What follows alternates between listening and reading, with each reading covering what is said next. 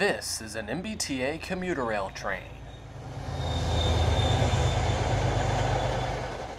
A typical consist has a locomotive at the front which provides power, 5 to 6 cars, and a cab car. Wait, what's a cab car?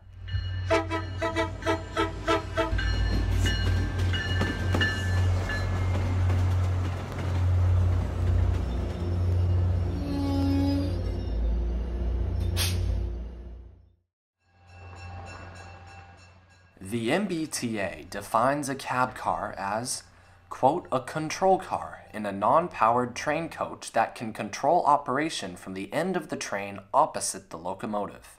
Brought to the United States in the 1960s, cab cars have revolutionized railroad operations ever since their arrival. You see, before the cab car, passenger railroading was much more complicated. At every end of the line station, trains had to find a way to turn around so the locomotives could face the opposite direction. After all, the train couldn't just go backwards. An example of an old-fashioned turnaround can be seen near Rockport Station on the MBTA's Gloucester branch. The Loop Pond Loop Track, built in the early 1900s, was the first and only loop built on the entire Boston and Maine system. This track was used up until 1962, when it was deemed useless by the introduction of the cab car. In 2023, cab cars are used on every single train in service on the MBTA system, except during certain circumstances.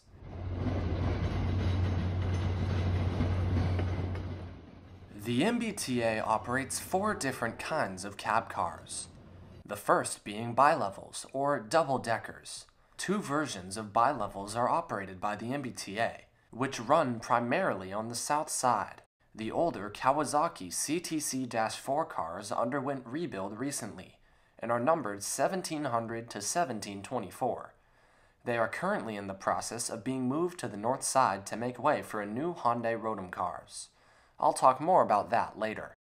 Next, the Hyundai Rotem CTC-5 cars are the newest on the MBTA system and are numbered 1800 to 1870, with the first 27 being from 2012 and the last 43 which are still being delivered today. These new cars will replace almost all single-level cars on the MBTA system. On the north side, the MBTA operates two different kinds of single-level cab cars. The older MBB CTC-3s are numbered from 1500 to 1533 and were built in 1987. Car number 1530 was the last cab car of this type left in service on the MBTA this past summer. These cars once operated exclusively on the south side, but are now only on the north side because of the new Rotems. Finally, are the Bombardier CTC-1B cars, which are numbered from 1600 to 1652 and were built in 1989. These cars run on the north side and basically always have. A good number of these cars were converted into normal coaches after the MBTA ordered more bi-level cab cars in the 1990s. With the arrival of 43 new Hyundai Rotems, the MBTA now plans to replace all single-level cars on the system, and the time left to see them is slim.